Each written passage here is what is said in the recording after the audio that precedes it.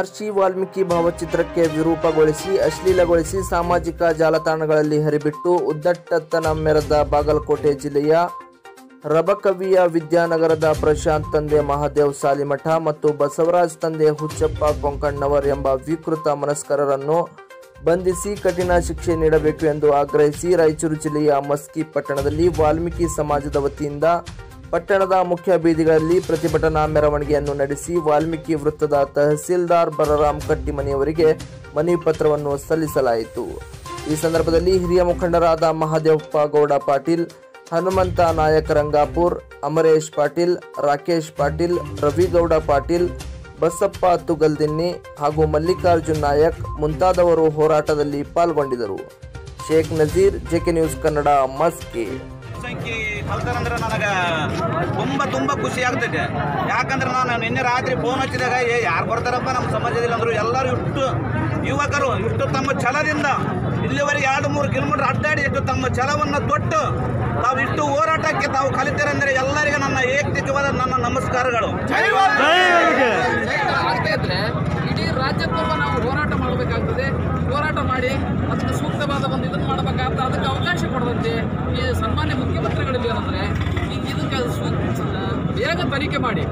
ಒಂದು ದುಷ್ಕರ್ಮಿಗಳನ್ನು ಬಂಧಿಸಿ ಅವರಿಗೆ ಉಗ್ರವಾದ ಶಿಕ್ಷೆಯನ್ನು ಕೊಟ್ಟು ಮತ್ತು ಶಾಶ್ವತವಾದ ಗಡಿಪಾರನ್ನು ಮಾಡಬೇಕು. ಅವ್ರಿಗೆ ಯಾರಿಗೂ ಕೊಡಲಾರದಂಥ ಶಿಕ್ಷೆಯನ್ನು ಕೊಡಬೇಕು. ಅಂದಾಗ ಮಾತ್ರ ಬೇರೆಯವರು ಕೂಡ ಈ ಥರ ಮಾಡುವಂತೆ ಆಗೋದಿಲ್ಲ ಭಯ ಉಂಟು ಜನರಲ್ಲಿ. ಕೆಟ್ಟ ಕೆಲಸವನ್ನು ಮಾಡಬೇಕಾದ್ರೆ ನಮ್ಮ ಜನಾಂಗ ಒಳ್ಳೆಯ ಶೂರರು ಮತ್ತು ಧೀರರು ಎಲ್ಲ ಬುದ್ಧಿಜೀವಿಗಳು ಎಲ್ಲ ರೀತಿ ಇರ್ತದೆ ಮತ್ತು ವಾಲ್ಮೀಕಿಯವ್ರ ಬಗ್ಗೆ ಹೇಳ್ಬೇಕಂದ್ರೆ ಸಾಕಷ್ಟು ಅವರು ಇಡೀ ನಮ್ಮ ಭಾರತ ದೇಶದ ಕಳಸ. ಯಾವುದೇ ವಿಚಾರದಲ್ಲಿ, ಆಧ್ಯಾತ್ಮಿಕವಾಗಿ ವಿಚಾರದಲ್ಲಿರ್ಬೋದು, ರಾಜಕೀಯವಾಗಿ ವಿಚಾರದಲ್ಲಿ ಇರಬಹುದು, ಸಾಮಾಜಿಕವಾಗಿ ಸ್ತ್ರೀಯರ ಬಗ್ಗೆ, ಚಿಕ್ಕ ಮಕ್ಕಳ ಬಗ್ಗೆ, ಪಶು ಪಕ್ಷಿ ಪ್ರಾಣಿಗಳ ಬಗ್ಗೆ ಕೂಡ ಇಡೀ ಸಂಪರ್ಕ ಇಡೀ ಸಮಗ್ರವಾದ ಒಂದು ವಿಚಾರವನ್ನು ಜಗತ್ತನ್ನು ಇಟ್ಟುಕೊಂಡು ಮಾಡಿರ್ತಕ್ಕಂಥ ಮಹಾನ್ ಪರಮಾತ್ಮನಿಗೆ ಅವಹೇಳನ ಮಾಡಿರೋದ್ರೆ ಅವರು ಮನುಷ್ಯರ ಅಲ್ಲ. ಅಂತಹ ಒಂದು, ಅವರಿಗೆ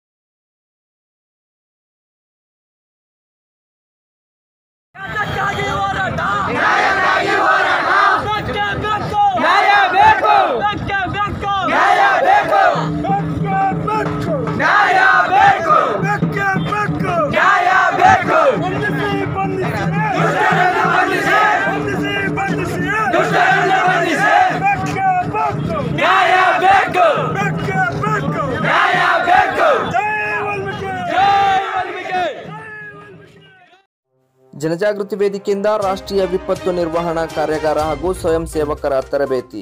ಬೆಳಗಾವಿ ಜಿಲ್ಲೆಯ ಅಥಣಿ ತಾಲೂಕಿನ ಮೂರಗುಂಡಿ ಗ್ರಾಮದ ಮುರುಸಿದ್ದೇಶ್ವರ ದೇವಸ್ಥಾನದಲ್ಲಿ ಜನಜಾಗೃತಿ ವೇದಿಕೆಯಿಂದ ರಾಷ್ಟ್ರೀಯ ವಿಪತ್ತು ನಿರ್ವಹಣಾ ಕಾರ್ಯಾಗಾರ ಮತ್ತು ಸ್ವಯಂ ಸೇವಕರ ತರಬೇತಿಗೆ ತಾಲೂಕು ದಂಡಾಧಿಕಾರಿ ದುಂಡಪ್ಪ ಕುಮಾರ್ ದೀಪ ಪ್ರಜ್ವಲಿಸುವುದರ ಮೂಲಕ ಚಾಲನೆ ನೀಡಿದರು. ಈ ವೇಳೆ ಮಾತನಾಡಿದ ತಹಸೀಲ್ದಾರರು, ಸರ್ಕಾರ ಮತ್ತು ಸಹಕಾರ ಸಂಸ್ಥೆಗಳು ಒಗ್ಗೂಡಿದಾಗ ವಿಪತ್ತನ್ನು ಎದುರಿಸಲು ಸಹಾಯಕವಾಗುವುದು ರಾಷ್ಟ್ರೀಯ ವಿಪತ್ತು ನಿರ್ವಹಣಾ ಕಾರ್ಯಾಗಾರ ತುಂಬಾ ಅವಶ್ಯಕವಾಗಿದ್ದು, ಇದು ಸಮಾಜದಲ್ಲಾಗುವ ಅನಾಹುತಗಳನ್ನು ತಪ್ಪಿಸಲು ಅನುಕೂಲವಾಗಿದೆ. ಇದರಿಂದ ಸದೃಢ ಸಮಾಜವನ್ನು ನಿರ್ಮಾಣ ಮಾಡಲು ಸಾಧ್ಯ, ಎಂದರು. ನಂತರ ಮಾತನಾಡಿದ ಅಥಣಿ ಪಿಎಸ್ಐ ಕುಮಾರ್ ಹಾಡ್ಕರ್, ವಿಪತ್ತು ನಿರ್ವಹಣೆ ತಾಲೂಕು ಆಡಳಿತದ ಜವಾಬ್ದಾರಿ ಹೆಚ್ಚಿರುತ್ತದೆ, ಆದರೆ ಜನಜಾಗೃತಿ ವೇದಿಕೆಯಿಂದ ಸ್ವಯಂ ಸೇವಕರಿಗೆ ತರಬೇತಿ ನೀಡುತ್ತಿರುವುದು ಸಂತಸದ ವಿಷಯವಾಗಿದೆ. ನಿಸರ್ಗಕ್ಕೆ ಬೇಡವಾದಾಗ ಅದು ಆಪತ್ತು ಪ್ರಾರಂಭ ಮಾಡುತ್ತದೆ, ಅದನ್ನು ತಡೆಗಟ್ಟಲು ಎಲ್ಲರ ಸಹಕಾರ ಅಗತ್ಯ. ಅದಕ್ಕಾಗಿ ತುರ್ತು ಸಂದರ್ಭದಲ್ಲಿ ಶಿಬಿರಾರ್ಥಿಗಳು ಪಾತ್ರ ಬಹುಮುಖ್ಯವಾದದ್ದು. ಶಿಬಿರಾರ್ಥಿಗಳು ಉತ್ತಮವಾಗಿ ಶಿಬಿರವನ್ನು ಪರಿಪೂರ್ಣಗೊಳಿಸಿ ಸಮಾಜಕ್ಕೆ ದಾರಿದೀಪವಾಗಲು, ಆಗಬೇಕೆಂದು ಹೇಳಿದರು. ಇದೇ ವೇಳೆ ಎನ್ಡಿಆರ್ಎಫ್ ತಂಡದಿಂದ ಮುಖ್ಯಸ್ಥರಾದ ಹರೀಶ್ ಅವರು ಒಂದು ವೇಳೆ ಪ್ರವಾಹ ಪರಿಸ್ಥಿತಿ ಉಂಟಾದರೆ ಹೇಗೆ ನಿರ್ವಹಣೆ ಮಾಡಬೇಕೆಂದು ಪ್ರತ್ಯೇಕ್ಷಿಕ ನೀಡಿದರು. ಈ ವೇಳೆ ದುಗ್ಗೇಗೌಡ, ಕೃಷ್ಣ ಟಿ, ಜಿಲ್ಲಾ ಜನಜಾಗೃತಿ ವೇದಿಕೆಯ ಚಿಕ್ಕೋಡಿ ಉಪಾಧ್ಯಕ್ಷರಾದ ಸಂಜಯ್ ನಾಡಗೌಡ, ತಾಲೂಕು ಪಂಚಾಯತ್ ಸದಸ್ಯೆ ಮಂಗಲ ಪೂಜಾರಿ, ಗ್ರಾಮ ಪಂಚಾಯಿತಿ ಅಧ್ಯಕ್ಷೆ ಶೋಭಾ ಪತ್ತಾರಿ, ಎನ್ಡಿಆರ್ಎಫ್ ಟೀಮ್ ಹಾಗೂ ಯೋಜನಾಧಿಕಾರಿಗಳು, ಸರ್ವ ಸಿಬ್ಬಂದಿಗಳು ಉಪಸ್ಥಿತರಿದ್ದರು. Bharatesh Nidoni J K news Kannada Athani. ಜಿಲ್ಲಾಧಿಕಾರಿ ಮತ್ತು ತಾಲೂಕಿನ ತಹಸೀಲ್ದಾರರಿಗೆ ಅತಿಯಾದಂಥ ಒಂದು ಅಧಿಕಾರವನ್ನು ಕೊಟ್ಟಿರ್ತಾರೆ ನನಗೆ ನಿನ್ನೆ ಫೋನ್ ಮುಖಾಂತರ ಕಾಲ್ ಮಾಡಿದಾಗ, ಸರ್, ತಾವು ತಮ್ಮ ಕಾರ್ಯಕ್ರಮಕ್ಕೆ ಬರಬೇಕೆಂದು ಯಾರು ನಾಯಕ ಅವರು ನನಗೆ ಕಾಲ್ ಮಾಡಿದ್ದಾರೆ. ನಾನೇನು ಹೇಳಿದೆ, ತಮ್ಗೆ ಇನ್ವೈಟೇಷನ್ ಮಾಡೋಕ್ಕೆ ನಾನು ಬರಬೇಕು ಅಂತ ಹೇಳಿದ್ರು. ನಾನು ಈ ವಿಪತ್ತು ನಿರ್ವಹಣಾ ಘಟಕದ ಒಂದು ಮುಖ್ಯವಾದ ಭಾಗ ಅಂತ ನನಗೆ ಇನ್ವೈಟೇಷನ್ ಯಾಕೆ ಕೊಡಬೇಕು ಅನ್ನೋದೇ ಅವ್ರು ನೀವು ಹೇಳಿದ್ರೆ ಅಲ್ಲೇ ಬರ್ತೀನಿ ಇಲ್ಲ, ನಾನೇ ಬರ್ತೀನಿ ಅಂತ ನಾನೇ ಹೇಳಿದೆ ಅದಕ್ಕಾಗಿ ಈ ಒಂದು ಕಾರ್ಯಕ್ರಮದ ಮುಖ್ಯವಾಗಿ ಅತಿಯಾದ ಕೆಲಸ ನಂದೇ ಇರೋದ್ರಿಂದ ನಾನು ಈ ಒಂದು ಕಾರ್ಯಕ್ರಮದಲ್ಲಿ ಭಾಗವಹಿಸಿ ನಾನು ಬಂದಿದ್ದೇನೆ ಆತು ಎನ್ ಡಿ ಆರ್ ಎಫ್ ಮತ್ತು ಎಸ್ ಡಿ ಆರ್ ಎಫ್ ಆ್ಯಕ್ಟ್ದಲ್ಲಿ ಅತಿಯಾದಂಥ ಅಧಿಕಾರ ಇವರು ಇಬ್ಬರಿಗೆ ಕೊಟ್ಟಿರೋದ್ರಿಂದ ಸರ್ಕಾರಿ ವಲಯದಲ್ಲಿ ಇವೆರಡು ಟೀಮ್ಗಳು ಅತಿಯಾಗಿ ಕೆಲಸ ಮಾಡೋದ್ರ ಜೊತೆಗೆ ಸಹಕಾರಿ ವಲಯದಲ್ಲಿ ಈ ಶ್ರೀ ಕೇಸ್ತ ಕ್ಷೇತ್ರ ಧರ್ಮಸ್ಥಳ ಗ್ರಾಮಾಭಿವೃದ್ಧಿ ಯೋಜನೆ ಅಡಿಯಲ್ಲಿ ಈ ಒಂದು ಸಹಕಾರಿ ವಲಯದಲ್ಲಿ ಇಂಥ ಕೆಲಸ ನಡೆಯುವುದು ಮೊದಲನೇ ಬಾರಿಗೆ ಅನ್ನೋದು ನನ್ನ ಅನಿಸಿಕೆ ಯಾಕಂದರೆ ಸರ್ಕಾರ ಸಹಕಾರಿ ವಲಯಗಳು ಒಟ್ಟುಗೂಡಿದಾಗ ನಾವು ಏನು ಒಂದು ಕೆಲಸ ಮಾಡಲಿಕ್ಕೆ ಹೋಗುವಂಥ ಉದ್ದೇಶ ಅದು ಸರ್ವೋತ್ತಮವಾಗಿ ಮಾಡುವಂಥ ಒಂದು ಲಕ್ಷಣವನ್ನು ನಾವು ಮಾಡಬಹುದಾಗಿದೆ. ಅದರ ಜೊತೆಗೆ ಈಗ ನಮ್ಮ ಕೃಷ್ಣಾ ದಡದಲ್ಲಿ ಇರುವಂಥ ನಮ್ಮ ಅಥಣಿ ತಾಲೂಕು ಪ್ರತಿ ವರ್ಷ ಪ್ರವಾಹ ಮತ್ತು ಬರಗಾಲ ಇಂತಹ ಒಂದು ಪ್ರಕೃತಿ ವಿಕೋಪಗಳನ್ನು ಎದುರಿಸ್ತಾ ಬರ್ತಾ ಇದೆ. ನಾವು ಪ್ರಕೃತಿ ವಿಕೋಪಗಳು ಸಂಭವಿಸಿದಾಗ ಇಂಥ ತಂಡಗಳನ್ನು ಗಬ್ಬೂರು ತಾಲೂಕು ಕೇಂದ್ರ ಘೋಷಣೆಗೆ ಆಗ್ರಹಿಸಿ ನೂತನ ತಾಲೂಕು ರಚನೆ ಹೋರಾಟ ಸಮಿತಿ ಹಾಗೂ ಪ್ರಗತಿಪರ ಸಂಘಟನೆಗಳ ನೇತೃತ್ವದಲ್ಲಿ ಪ್ರತಿಭಟನೆ ನಡೆಯಿತು. ಗ್ರಾಮದ ಬೂದಿ ಬಸವೇಶ್ವರ ಮಠದಿಂದ ನಾಡ ಕಚೇರಿಯವರೆಗೆ ಪ್ರತಿಭಟನಾ ಮೆರವಣಿಗೆಯು ನಡೆಯಿತು. ಗಬ್ಬೂರು ನೂತನ ತಾಲೂಕು ಘೋಷಣೆ ಮಾಡದಿದ್ದಲ್ಲಿ ದೇವದುರ್ಗ ತಾಲೂಕಿನಲ್ಲಿ ಗಬ್ಬೂರು ಹೋಬಳಿಯ ಗ್ರಾಮಗಳನ್ನು ಉಳಿಸಬೇಕು. ಯಾವುದೇ ಕಾರಣಕ್ಕೆ ಅರಕೆರೆ ತಾಲೂಕು ಕೇಂದ್ರ ವ್ಯಾಪ್ತಿಗೆ ಮಲದಕ್ಕಲ್ ಹಾಗೂ ರಾಮದುರ್ಗ ಗ್ರಾಮ ಪಂಚಾಯತ್ ವ್ಯಾಪ್ತಿಯ ಹಳ್ಳಿಗಳ ಸೇರಿಸಬಾರದು ಎಂದು ಒತ್ತಾಯಿಸಿದರು. ಗಬ್ಬೂರು ತಾಲೂಕು ಕೇಂದ್ರ ಘೋಷಿಸಿದ್ದಲ್ಲಿ ಈ ಭಾಗದ ಎಲ್ಲಾ ಗ್ರಾಮಗಳಿಗೆ ಕೇಂದ್ರ ಸ್ಥಾನವಾಗಲಿದ್ದು, ಅನುಕೂಲವಾಗಲಿದೆ. ಗಬ್ಬೂರು ಗ್ರಾಮದಲ್ಲಿ ಪೊಲೀಸ್ ಠಾಣೆ, ಬ್ಯಾಂಕ್, ಸರ್ಕಾರಿ ಹಾಗೂ ಖಾಸಗಿ ಪ್ರಾಥಮಿಕ ಪ್ರೌಢಶಾಲೆ, ಪದವಿ ಪೂರ್ವ ಕಾಲೇಜು, ಖಾಸಗಿ ಪದವಿ ಕಾಲೇಜು, ಮೊರಾರ್ಜಿ ಶಾಲೆ ತರಬೇತಿ, ಇನ್ನಿತರೆ ಶೈಕ್ಷಣಿಕವಾಗಿ ಅನುಕೂಲವಾಗಿದೆ. ಐತಿಹಾಸಿಕವಾಗಿಯೂ ಗ್ರಾಮವು ಪ್ರಸಿದ್ಧವಾಗಿ ಪ್ರವಾಸಿ ಕೇಂದ್ರವೂ ಕೂಡ ಆಗಿದೆ. ಈ ಗ್ರಾಮಕ್ಕೆ ಜಿಲ್ಲೆ ಮತ್ತು ತಾಲೂಕು ಮೂವತ್ತು ಕಿಲೋಮೀಟರ್ ಇದ್ದು, ರಾಜ್ಯ ಹೆದ್ದಾರಿ, ರಾಷ್ಟ್ರೀಯ ಹೆದ್ದಾರಿ ಸಂಪರ್ಕ ಗ್ರಾಮವಾಗಿರುವುದರಲ್ಲಿ ಈ ಗ್ರಾಮ ಅಂಚೆ ಕಚೇರಿ, ನಾಡ ಕಚೇರಿ, ಹಿಂದುಳಿದ ಅಲ್ಪಸಂಖ್ಯಾತ, ಪರಿಶಿಷ್ಟ ಪಂಗಡ, ಪರಿಶಿಷ್ಟ ಜಾತಿ ವಸತಿ ನಿಲಯಗಳ ಕೂಡ ಈ ಗ್ರಾಮವು ಒಳಗೊಂಡಿದೆ. ದೇವದುರ್ಗ ತಾಲೂಕದಲ್ಲಿಯೇ ಅತಿ ದೊಡ್ಡ ಕಂದಾಯ ಹೋಬಳಿಯಾಗಿದೆ ತೊಂಬತ್ತೇಳು ಸಾವಿರ ಹೆಕ್ಟರ್ಗಿಂತಲೂ ಹೆಚ್ಚಿನ ಭೂಪ್ರದೇಶ ಹೊಂದಿರುವ ನೀರಾವರಿ ಪ್ರದೇಶವಾಗಿರುತ್ತದೆ. ಹುಬ್ಬಳ್ಳಿ ತನ್ನ ವ್ಯಾಪ್ತಿಯ ತೊಂಬತ್ತಕ್ಕಿಂತಲೂ ಹೆಚ್ಚು ಹಳ್ಳಿಗಳು ಅಧಿಕಾರ ವಿಕೇಂದ್ರೀಕರಣ ಫಲವನ್ನು ಪಡೆಯುವಂತಾಗಿದೆ.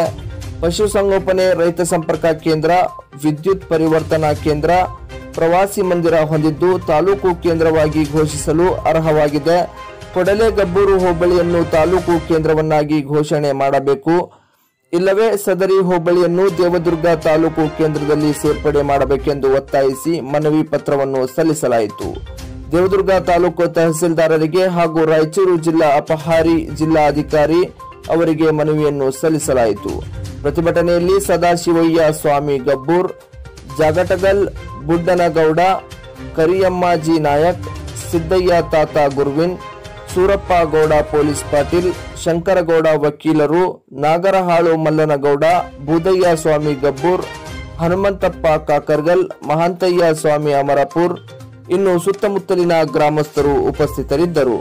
Raju S Math, JK news Kannada, Devadurga ಮೂವತ್ತೇಳು ಹನ್ನೆರಡು ಎರಡ್ ಸಾವಿರದ ಹತ್ತೊಂಬತ್ತರಂದು ಕೊನೆಯ ಬಾರಿ ಮನವಿ ಕೊಟ್ಟಿದ್ವಿ ಈ ಮೂಲಕ ತಮ್ಮಲ್ಲಿ ವಿನಯಪೂರ್ವಕವಾಗಿ ಗಬ್ಬೂರು ಹೋಬಳಿಯ ಗ್ರಾಮಸ್ಥರು ಹಾಗೂ ಈಗಾಗಲೇ ನೂತನ ತಾಲೂಕು ಅರಿಕೆಯ ಘೋಷಣೆಯಾಗಿದ್ದು, ಅದರಲ್ಲಿ ಸೇರ್ಪಡೆಯಾದ ಮಲ್ಲಕಲ್ ಪಂಚಾಯತ್, ರಾಮದುರ್ಗ ಪಂಚಾಯತ್ ಮತ್ತು ಜಾಡೋದಿನಿ ಪಂಚಾಯತ್ ಕೆಲವು ಗ್ರಾಮಗಳ ಗ್ರಾಮಸ್ಥರು ಜಂಟಿಯಾಗಿ ವಿನಂತಿಸಿಕೊಳ್ಳುವುದೇನೆಂದರೆ ಈಗಾಗಲೇ ಮೇಲ್ಕಾಣಿಸಿದ ಉಲ್ಲೇಖಗಳಂತೆ ನಾವು ಗಬ್ಬೂರು ತಾಲೂಕು ಕೇಂದ್ರವೆಂದು ಘೋಷಿಸಬೇಕೆಂದು ಘನ ಸರ್ಕಾರವನ್ನು ವಿನಂತಿಸಿಕೊಳ್ಳುವುದರ ಜೊತೆಗೆ ನಮ್ಮ ಗಬ್ಬೂರು ಹೋಬಳಿಯನ್ನು ತಾಲೂಕು ಎಂದು ಘೋಷಿಸಿದರೆ ಎಲ್ಲಾ ಗ್ರಾಮಗಳಿಗೆ ಕೇಂದ್ರ ಸ್ಥಾನವಾಗಿರುತ್ತದೆ.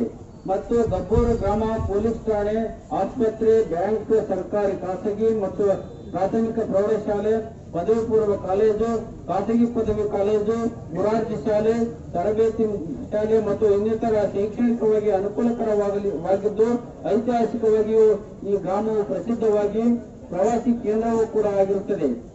ಮತ್ತು ಈ ಗ್ರಾಮಕ್ಕೆ ಜಿಲ್ಲೆ ಮತ್ತು ತಾಲೂಕು ಮೂವತ್ತು ಕಿಲೋಮೀಟರ್ ಇದ್ದು ರಾಜ್ಯ ಹೆದ್ದಾರಿ, ರಾಷ್ಟ್ರೀಯ ಹೆದ್ದಾರಿ ಸಂಪರ್ಕ ಗ್ರಾಮವಾಗಿರುವುದರಲ್ಲಿ ಈ ಗ್ರಾಮ ಅಂಚೆ ಕಚೇರಿ ನಾಡ ಕಚೇರಿ, ಹಿಂದುಳಿದ ಅಲ್ಪಸಂಖ್ಯಾತ ಪರಿಶಿಷ್ಟ ಜಾತಿ, ಪರಿಶಿಷ್ಟ ಪಂಗಡ, ವಸತಿ ನಿಲಯಗಳ ಕೂಡ ಈ ಗ್ರಾಮವು ಒಳಗೊಂಡಿದೆ. ಅದಲ್ಲದೆ ಈ ಗ್ರಾಮವು ದೇವದುರ್ಗ ತಾಲೂಕದಲ್ಲಿಯೇ ಅತಿ ದೊಡ್ಡ ಕಂದಾಯ ಹೋಬಳಿಯಾಗಿದ್ದು, ಈಗಾಗಲೇ ಹೇಳಿದಂತೆ ತೊಂಬತ್ತೇಳು ಸಾವಿರ ಹೆಕ್ಟೇರ್ಗಿಂತಲೂ ಹೆಚ್ಚಿನ ಭೂಪ್ರದೇಶ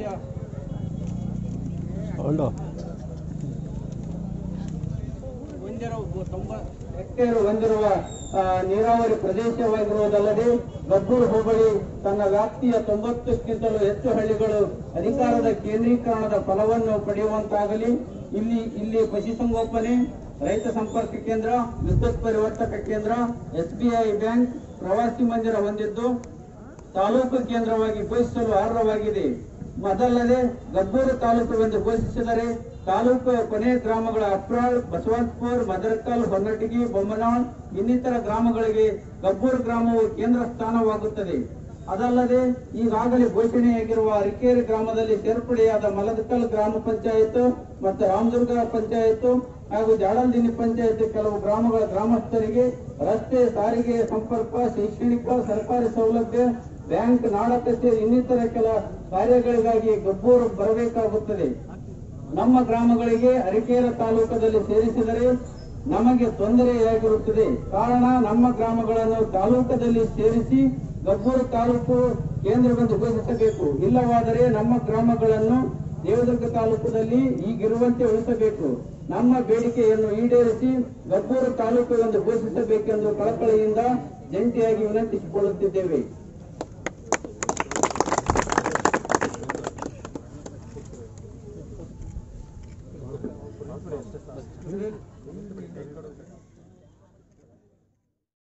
ರಾಯಚೂರು ಜಿಲ್ಲೆಯ ಮಸ್ಕಿ ತಾಲೂಕಿನ ಬಳಗನೂರು ಪಟ್ಟಣದ ಅಂಬೇಡ್ಕರ್ ವೃತ್ತದಲ್ಲಿ ಬೃಹತ್ತಾಕಾರ ಮಹಾನಾಯಕ ಧಾರಾವಾಹಿ ಬ್ಯಾನರ್ ಅನ್ನು ನಿಲ್ಲಿಸಿ ಅಭಿನಂದನಾ ಕಾರ್ಯಕ್ರಮವನ್ನು ಗ್ರಾಮದ ಯುವಕರು ಆಯೋಜಿಸಿದರು.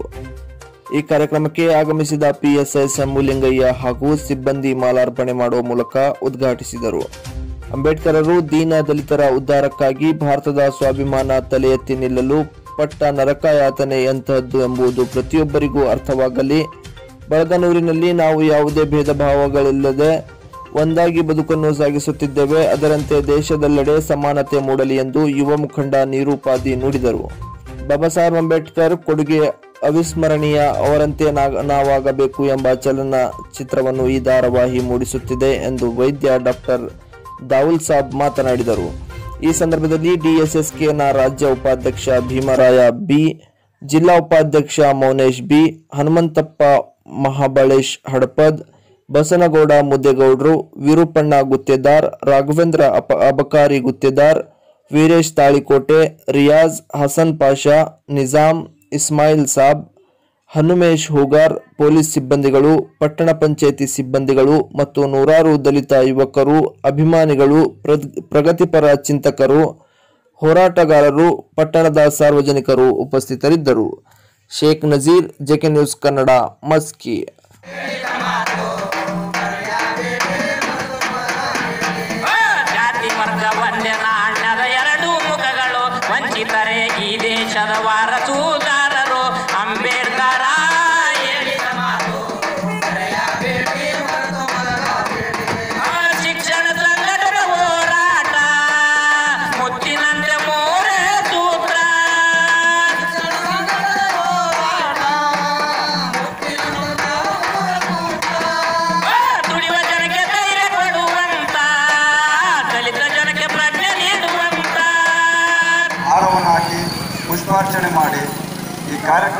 ಉತ್ಸುಕತೆಯಿಂದ ಪಾಲ್ಗೊಂಡಿರ್ತಕ್ಕಂಥದ್ದು, ನಮಗೆಲ್ಲ ಗೊತ್ತಿರ್ತಕ್ಕಂಥ ವಿಷಯ. ಜುಲೈ ನಾಲ್ಕರಿಂದ ಪ್ರಾರಂಭವಾಗಿರ್ತಕ್ಕಂಥ ಮಹಾನ್ ನಾಯಕ ಎಂಬ ಧಾರಾವಾಹಿ. ಹೇಗೆ ನಾವು ಚಿಕ್ಕವರಿದ್ದಾಗ ರಾಮಾಯಣ ಮತ್ತು ಮಹಾಭಾರತಕ್ಕೋಸ್ಕರ ಆ ಧಾರಾವಾಹಿಗೋಸ್ಕರ ಶನಿವಾರ ಮತ್ತು ಭಾನುವಾರ ಕಾಯ್ಕೊಂಡು ಶ್ರೀಮಂತ ಕೂತ್ಕೊಳ್ತಾ ಇದ್ವಿ. ಅದೇ ರೀತಿಯಾಗಿ ಸಹ ಇವತ್ತು ಶಿವರಾತ್ರಿಯಿಂದ ಮಹಾನಾಯಕ ಎಂಬ ಧಾರಾವಾಹಿಯನ್ನು ನೋಡೋದು. ಅದೇ ಸಮಯ ಸಂಜೆ ಆರರಿಂದ ಏಳು. ಕಾಯ್ಕೊಂತ ಕೂತ್ಕೊಳ್ತೀವಿ ನಾವೆಲ್ಲರೂ ಕೂಡ. ಇವತ್ತು ನಮ್ಮ ಅಂಬೇಡ್ಕರ್ ಬಗ್ಗೆ ಈ ಸವಿಸ್ತರವಾಗಿ ಸುರೇಶ್ ಅವರು ಹೇಳಿದರು. ಆಗಿರ್ತಕ್ಕಂಥ ಘಟನೆಗಳು ಏನು, ಪ್ರಸ್ತುತ ದಿನಮಾನಗಳಲ್ಲಿ ಹೇಗೆ ನಡೀತಾ ಇದೆ, ದಲಿತರ ಮೇಲೆ ದೌರ್ಜನ್ಯಗಳು ಆಗ್ತಾ ಇದೆ ಅಂತೆಲ್ಲ ಹೇಳಿದ್ರು ಅವರೆಲ್ಲ ಕೇಳಿದ್ರು, ನಮಗೆಲ್ಲ ಗೊತ್ತಿರ್ತಕ್ಕಂಥ ವಿಷಯ. ಸೊ ಅಂಬೇಡ್ಕರ್ ಕಾನ್ಸೆಪ್ಟ್ ಏನಿತ್ತು ಎಲ್ಲರೂ ಸರಿಸಮನಾಗಿ ಬದುಕಬೇಕು, ಸಮಾಜದಲ್ಲಿ ಸರಿ ಸರಿ ಸಮನಾಗಿ ಎಲ್ಲರೂ ನಡೆದಾಡಬೇಕು, ಬದುಕಬೇಕು. ಆ ಸ್ಥಿತಿ ನಮ್ಮ ದೇಶದಲ್ಲಿ ಬರಬೇಕಂತ ಹೇಳಿದರು. ವಾಸ್ತವದ ಸ್ಥಿತಿ ಹೇಗಿದೆ ಅನ್ನೋದು ನಮಗೆಲ್ಲ ಗೊತ್ತಿರ್ತಕ್ಕಂಥ ವಿಷಯ. ಜೊತೆ ಜೊತೆಗೇನು, ಸೊ ನಮ್ಮ ಊರಿನ ಬಗ್ಗೆ ನಾನು ಮಾತಾಡೋಣಾದರೆ ನಮಗೆ ಗೊತ್ತಿರೋ ವಿಷಯಗಳ ಬಗ್ಗೆ. ಇವತ್ತು ನಾವ್ಯಾರು ಇಲ್ಲಿ ದಲಿತರನ್ನ ವಿರೋಧ ಮಾಡ್ತಕ್ಕಂಥದ್ದು, ದಲಿತರನ್ನ ಕೀಳು ಮಟ್ಟದಲ್ಲಿ ಕಾಣ್ತಕ್ಕಂಥದ್ದು ನಮ್ಮೂರಿಲ್ಲ ನಮ್ಮೂರಿನಲ್ಲಿ ಇಲ್ಲ ಅದು ನನಗೆ ಹೆಮ್ಮೆಯ ವಿಷಯ. ನನ್ನ ಸರಿ ಸಮನಾಗಿ ನನ್ನ ಗೆಳೆಯ, ನನ್ನ ಪಕ್ಕದಲ್ಲಿ ಕೂತ್ಕೊಂಡು ಟೀ ಕುಡಿತಾನೆ, ನನ್ನ ಪಕ್ಕದಲ್ಲಿ ಕೂತ್ಕೊಂಡು ಊಟ ಮಾಡ್ತಾನೆ, ನನ್ನ ಪಕ್ಕದಲ್ಲಿ ಒಡನಾಡಿ ಆಗಿ, ನನ್ನ ಹೆಗಲ ಮೇಲೆ ಕೈ ಹಾಕಿ ಒಂದು ರೌಂಡ್ ಊರಲ್ಲಿ ಹೋಗಿ ಬರ್ತಾನೆ. ಆ ತರಹದ ಪರಿಸ್ಥಿತಿ ಬಳಗಂದ್ರೆ ಇದು ನನಗೆ ಖುಷಿ ಇದೆ. ಇದು ಮಹಾನಾಯಕ ಕೇಳ್ಕೊಂಡಿರ್ತಕ್ಕಂಥ ದಿನಮಾನಗಳು ನಮ್ಮೂರಲ್ಲಿ ಇದಾವೆ ಅಂತ ಹೇಳಿ ನಾನು ಹೆಮ್ಮೆಯಿಂದ ಹೇಳ್ತೇನೆ. ಎಲ್ಲೋ ಕೆಲವೊಂದು ಕಡೆ ಕಿಡಿಗೇಳುಗಳು ಮತಹೀನರು ಮತಿಬದ್ಧರು ಜಾತಿಹೀನರು ಅವ್ರಿಗೆ ಸಂಬಂಧಪಟ್ಟ ಯಾವುದೋ ಚೂಟ್ಯ ಕೆಲಸಕ್ಕೆ ಇಳಿದು ಕೆಟ್ಟ ಘಟನೆಗಳನ್ನು ಮಾಡ್ತಾ ಇರ್ತಾರೆ. ಅವರೆಲ್ಲ ನಾವು ಸೈಡ್ಗಿಡಬೇಕು ಸೈಡ್ಗಿಟ್ಟು ನಮ್ಮ ಬದುಕನ್ನು ಕಟ್ಟಿಕೊಂಡು ಮಹಾನಾಯಕ ಹೇಳಿರ್ತಕ್ಕಂಥ ದಾರಿಯಲ್ಲಿ ಹೋಗ್ಬೇಕು. ಸಂಘರ್ಷ ಯಾವಾಗ ಆಗಬೇಕು? ನನ್ನ ಜಾತಿ, ಧರ್ಮ, ನನ್ನ ನಿಂದನೆ, ನನ್ನ ಗುರುವನ್ನ ನಿಂದನೆ ಮಾಡಿದಾಗ ಸಂಘರ್ಷ ಆಗ್ಬೇಕು. ಯಾವುದೋ ಸಣ್ಣ ಪುಟ್ಟ ಘಟನೆಗಳಿಗೆ ಸಂಘರ್ಷ ಆಗ್ಬಾರ್ದು. ಇವತ್ತು ಮಹಾನಾಯಕ